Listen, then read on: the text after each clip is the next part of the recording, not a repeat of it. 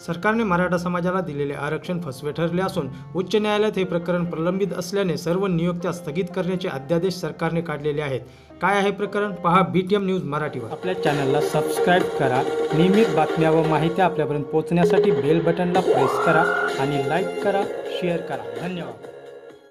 नमस्कार बी T M news मराठीमध्ये आपले स्वागत आहे. पंचवीस फेब्रुवारी दोन हजार एकोणीस रोजी सरकारने एक छुपा अध्यादेश आणून मराठा समाजातील आरक्षणावर एक स्थगिती आणलेली आहे. काय आहे ही स्थगिती? पहा आमचा विशेष रिपोर्ट. महाराष्ट्र शासनाचे सचिव सर्व्हिस शिवाजी दौंड यांनी पंचवीस फेब्रुवारी दोन हजार एकोणीस रोजी एक अध्यादेश काढून मंत्रालयातील सर्व विभागीय सचिव प्रधान सचिव अप्पर मुख्य सचिव सर्व विभाग जिल्हाधिकारी मुख्य कार्यकारी अधिकारी सर्व सहाय्यक आयुक्त मागासवर्ग कक्ष महाराष्ट्र राज्य यांना या अध्यादेशाद्वारे सोळा टक्के आरक्षणातून मराठा समाजाला देण्यात आलेल्या नियुक्त्या रद्द करण्याचे आदेश देण्यात आलेले आहेत आणि या आदेशाचे काटेकोरपणे पालन करावे असे या आदेशात नमूद करण्यात आलेले आहे.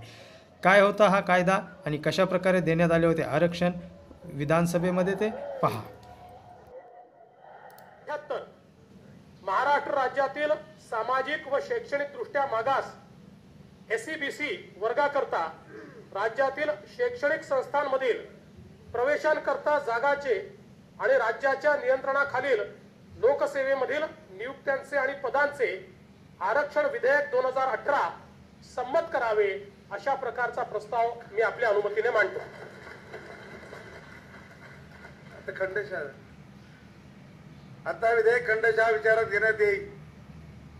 खंड दोन ते अठरा खंड एक संपूर्ण शीर्षक आणि हेतुवाक्य हे विधेयकाचे भाग समानात यावेत अनुकूल असतील त्याने होय म्हणावे. प्रतिकूल असतील ते एक मताने खंड दोन ते अठरा खंड एक संपूर्ण शीर्षक आणि हेतुवाक्य विधेयकाचे भाग झाले.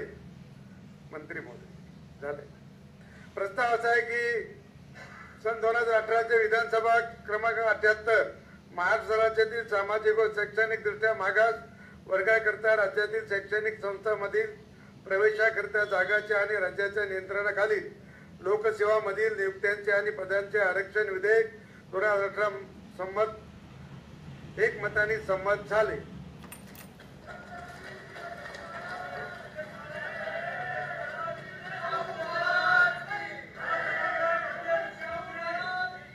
अध्यक्ष महोदय मी पुन्हा एकदा या सभागृहाचे मनपूर्वक आभार मानतो.